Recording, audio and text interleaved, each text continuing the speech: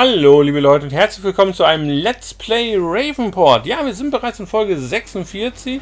Ich schalte wieder mal durch, äh, mache unsere freundlichen Kollegen hier mal an, mache die Helfer an, die hier helfen können. Den äh, Striegel brauchen wir, glaube ich, nicht. Ich dachte, wir hatten den Spaß. Ne, wir müssen auf jeden Fall... Äh, kalken müssen wir, so wie es aussieht hier. Bei dem Feld müssen wir nicht kalken. Bei 23 müssen wir kalken. Und da sollten wir dementsprechend dann auch hin. So, äh, ja, damit haben wir Mais und damit wollten wir zu den Tieren. Aber denn wenn wir jetzt bei der 23 kalken müssen, würde ich sagen, fahren wir erstmal mit dem freundlichen Kollegen rüber und lassen es kalken. Oh, hat es schon abgeklemmt, sehr gut. Jetzt muss ich nur gucken, habe ich hier vorne das Gewicht wieder gelegt? Ja. Der braucht nämlich jetzt das Gewicht, weil sonst wird das mit der, mit der Kalkmaschine überhaupt nichts.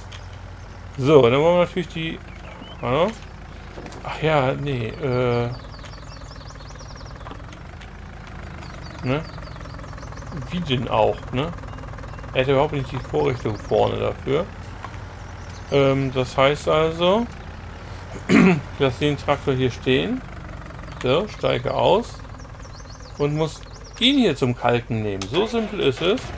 Das heißt, wir müssen dann die Tierfütterungsvariante dann mit dem Fiat machen. Aber das ist ja kein Problem, das kriegen wir doch alles hin.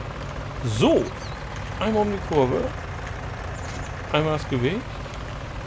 Oben sehen wir schon, der Drescher ist bei 34%. Ne? Wir haben ja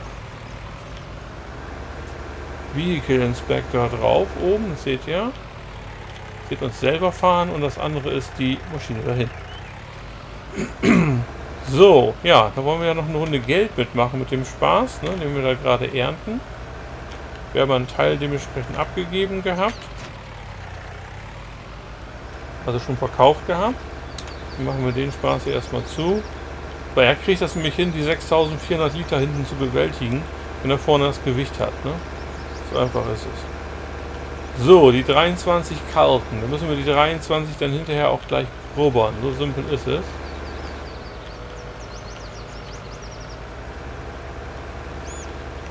Und dann wollen wir mal gucken. Damit wir hier nicht mehr so weit fahren müssen, würde ich sagen, sollten wir hier dann lieber die Sachen drauf machen, die wir nur für Geld machen. Und nicht Strohgeschichten oder irgendwie sowas. Ich schätze mal, ich werde jetzt hier eh drei Bahnen fahren oder?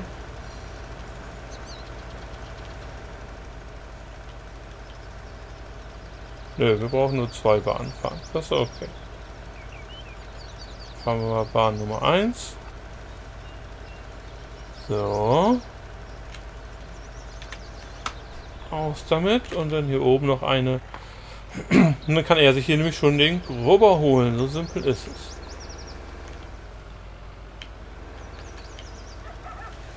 Und dann machen wir mit der Tierversorgung weiter und zwischendurch machen wir dann den Drescher leer. So simpel ist es. Oder vielmehr verkaufen den Spaß, dann wenn der Drescher dann soweit ist, sagen wir es so. Gut, das haben wir. Obwohl, wenn wir hier eine Direktsaatmaschine hinsetzen und hier direkt was ansehen mit der kleinen Sämaschine, könnten wir da auch schon ohne Grummern vorweg das Ganze jetzt laufen lassen. Ja, sollte man sich überlegen. Ich stelle jetzt erstmal das gute Stück hier vorne wieder bei der Kalke ab. So. Mach den wieder auf, füll den wieder voll.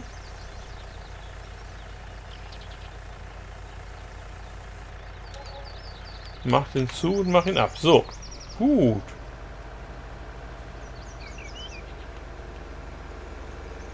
Dann ist die Frage, was machen wir denn jetzt?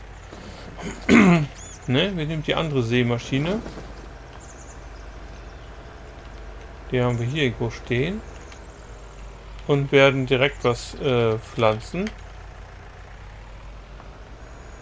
Und zwar in dem Fall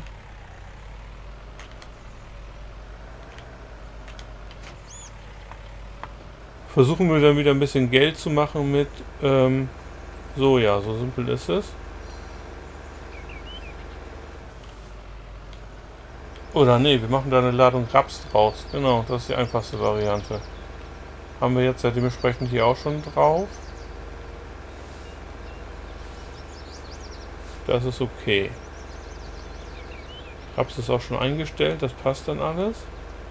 Weil die hier grubbert halt gleichzeitig unter. Hat zwar nur 3 Meter Arbeitsbreite, aber wie gesagt, da wollen wir uns ja auch irgendwann mal eine größere für anschaffen. Und da er jetzt ja 175 PS hat, bin ich sogar so wagemutig und sage, wir nehmen eine 180 PS 6 Meter Variante. Aber wie gesagt, da müssen wir dann halt erstmal eine Runde gucken. Erstmal setzen wir den Kollegen jetzt hier an. So. Der macht uns hier jetzt wunderprächtig Raps draus. Grubbert das auch schön unter. Seht das, das müssen wir später dann noch einmal nachdüngen, glaube ich, oder?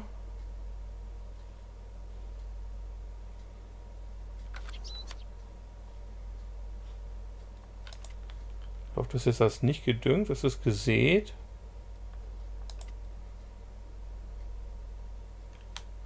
Ne, stimmt. Düngen müssen wir dann zweimal sogar. Okay, ja, ist aber nicht so wild. Kriegen wir alles hin. So, er behauptet, er wäre fertig. Das ist ja äh, unverfroren fast.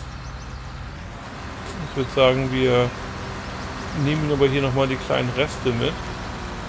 Wir sollten echt jeden, jeden, jeder Gramm zählt sozusagen bei so kleinen Feldern hier. Ja, und jetzt müssen wir erstmal ein, zwei Arbeitsgänge machen. Und was müssen wir nämlich machen? Ganz einfach. Wir müssen jetzt das gute Stück hier leer tanken und den Rest dann nämlich rausholen aus dem Silo und den Spaß noch sehen, dass wir den noch verkaufen. Das ist kein Problem. Dann kann er anfangen zu ernten. Das heißt, wir müssen jetzt möglichst zügig sehen, dass wir den Mais hier ins, äh, zu den Schweinen kriegen, weil das macht auch den Großteil ihres Futters aus. 50% vom Schweinefutter ist Mais. Deswegen fahren wir jetzt hier einmal einen schönen Bogen. Das können wir nämlich in Ruhe machen, aber auf dem Feld ist jetzt ja nichts. Und dann äh, müssen wir sofort abtanken, dass wir den Drescher ans Laufen kriegen wieder. Ne? Das muss ja mal alles weitergehen hier. So, schön ordentlich hier rein. So. Schön gerade durchfahren können. Das sieht ja hervorragend aus. So, irgendwo hier sagt er Mais abladen. Das tun wir jetzt auch. Da haben wir jetzt ordentlich Mais hin. Oh oh. Da habe ich jetzt... Äh, haben wir jetzt ein Problem? Ja. Wir sind jetzt ziemlich direkt bei den Schweinen drin und wir werden, so wie es aussieht, Mais verlieren. Gut, ich steige mal aus. Kann man hier noch irgendwo hinter? Ne, Schwein ist nichts passiert. Seht ihr selber, hier ist kein Schwein drunter. Sieht alles gut aus. Man kommt von hier aber auch leider nicht in den Stall rein, wie ihr seht. Ne? Also, ich kann jetzt hier leider nichts reinbringen, um hier irgendwas äh, hoch oder aufzubocken. Die Schweine wundern sich nur, was hier passiert ist. Ja, ist ganz einfach. Der, es ist ein Kipper, der hochklappt und die Scheune ist zu niedrig. Ne? Das ist das, was hier jetzt passiert ist. Ein Arbeitsunfall. Der Traktor hängt hier natürlich weniger gut. Größte Problem an der Geschichte ist, ich kriege natürlich den Hänger und den Traktor hier so überhaupt... Also den Traktor kriege ich rausbewegt, aber den Hänger kriege ich überhaupt nicht rausbewegt. Das ist natürlich sehr, sehr ärgerlich. Weil wenn ich mich jetzt zurücksetzen muss, was mir wohl nichts anderes übrig bleibt, haben wir das Problem, dass wir die 7.500 Mais verlieren. Das ist natürlich sehr ärgerlich. Wir haben natürlich Mais, es ist was reingekommen, seht ihr selber, 11.000 noch was.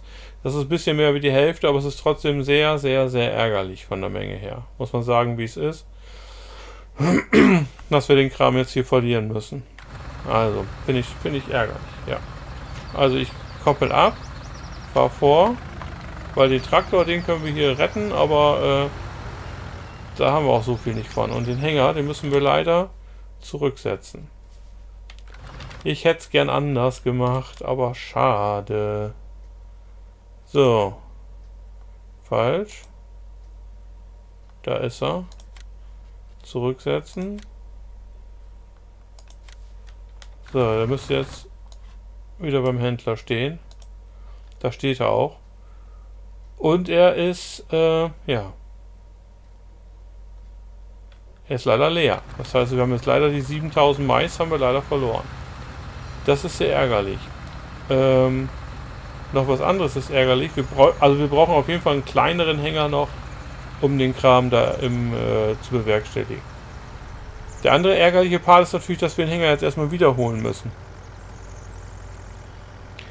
Das ist natürlich noch ärgerlicher. Ich hätte das mit dem Hänger da drin regeln können, habe aber nicht daran gedacht.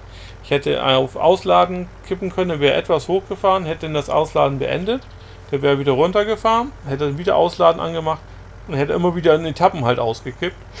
Und wir hätten die Höhe nicht erreicht. Ne? Und damit hätte ich dann auch dementsprechend nicht das Problem geschaffen, was ich jetzt selber habe halt dadurch. Natürlich sehr ärgerlich, muss ich sagen. Sehr, sehr ärgerlich. Naja, aber da müssen wir jetzt durch. Genau wie wir hier nach am Schluss noch eine Runde nacharbeiten müssen, aber es ist kein Problem, solange er den Hauptteil da erstmal macht, bin ich schon zufrieden. So.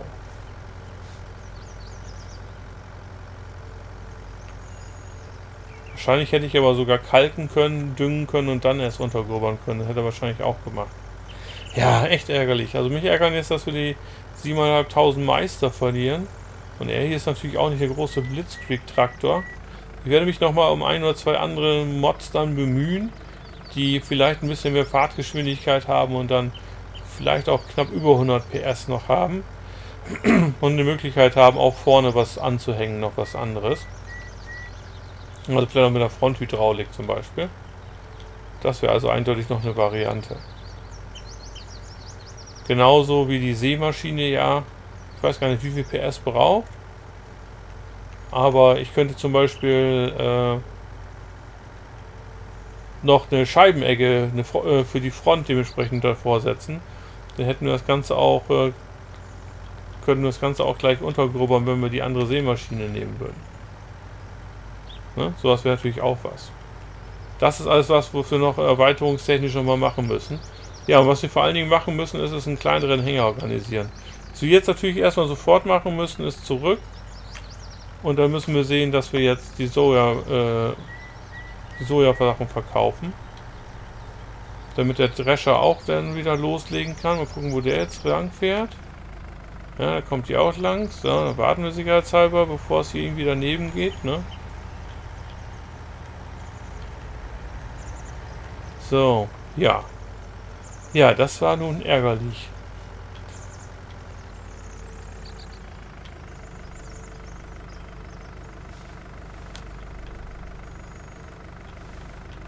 Das ist natürlich ärgerlich.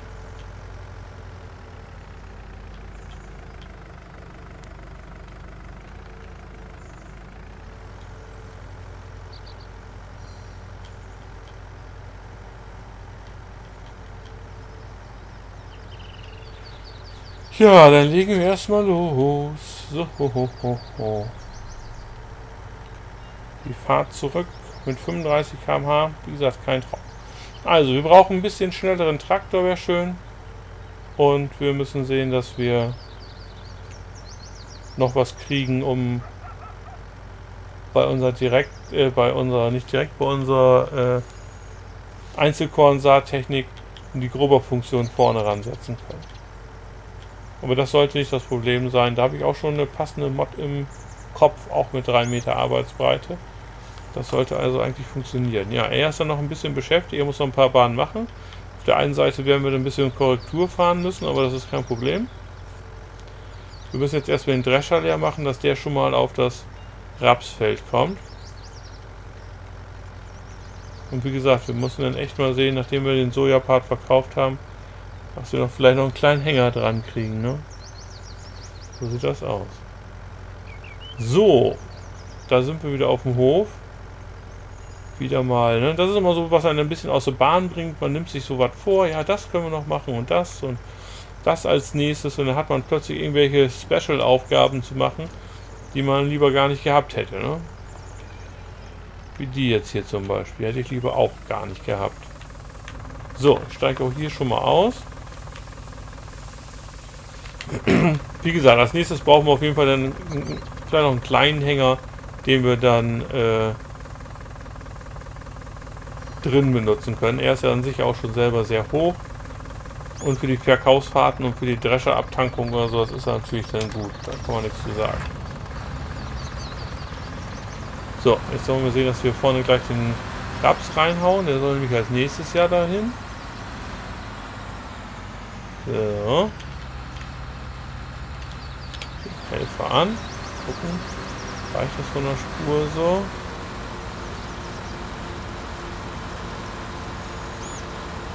Knapp. Oh, er nimmt sie gerade alle mit, ne? Also, ich würde sagen, ich habe mit meiner Spurbreite Wahl hier gerade mal Glück gehabt. So, da sind wir wieder. Jetzt geht es hier einmal Richtung Lagergeschichten. So, 2922 haben wir ja drin. Ich fahre das hier ein bisschen von der Seite an, weil wir haben ja da einen ziemlichen Buckel. Und so kommen wir hier einigermaßen noch hoch. So. Außerdem hätte ich hier gar nicht hingemusst. Ich dösel. Ich muss ja hier hin. Ich will die ja mitnehmen. Ich will Spawn nicht da lassen. Ja, Sojabohnen, welche Überraschung, die sind ja schon drin. Ja, dann werden wir die verkaufen fahren, aber das machen wir erst beim nächsten Mal. Wir sind nämlich leider schon wieder am Ende der Folge für heute. So schnell geht's. Ich hoffe, dass es euch gefallen hat. Würde mich sehr freuen, wenn ihr beim nächsten Mal wieder mit dabei sein würdet. Wenn es euch gefallen hat, lasst einen passenden Daumen da. Ich würde mich natürlich auch sehr über einen Teilen freuen. Ein Abo wäre natürlich klasse. Dann sage ich vielen, vielen Dank fürs Zuschauen und bis zum nächsten Mal.